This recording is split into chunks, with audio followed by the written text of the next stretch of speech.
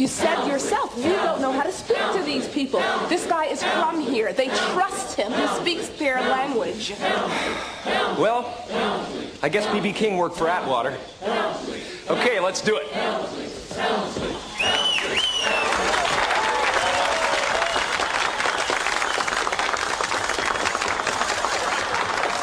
Hey, y'all! I've been your senator now for about seven years, and uh, with a little help from you, I'll be your senator for another seven years. How about that? sure, you can applaud for that. you know, I could go on forever out here, but I think it's time for a little musical entertainment. I'd like to introduce a very talented songwriter and a dear, dear friend of mine, Mr. Calhoun Tubbs.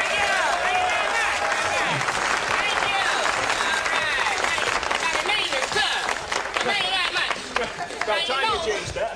Ladies and gentlemen, I ain't running for no public office, so I can tell the truth. Now look here, I've been in this neighborhood over 35 years, seen him come and go.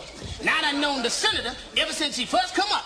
See, to make it in politics, you got to have a gimmick. The senator got him a gimmick, me. but matter of fact, he started my career by uh, giving me my first job.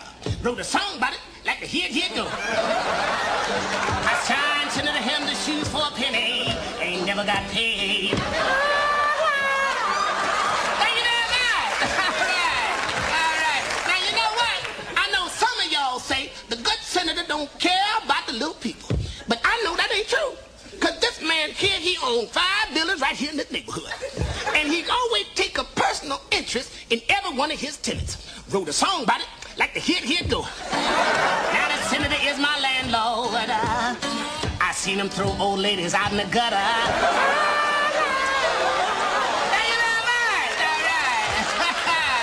But look here, you know what? I always tell the little babies, stay off the junk and you go far. See, that's what's so amazing about this man right here. From the minute he took office, he always got himself personally involved in the war on the drugs. He even started his own drug program. Now, you know, I ain't writing no song about that, but I think I could right now.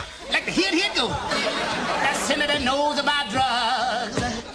He been a dope head for 30 years.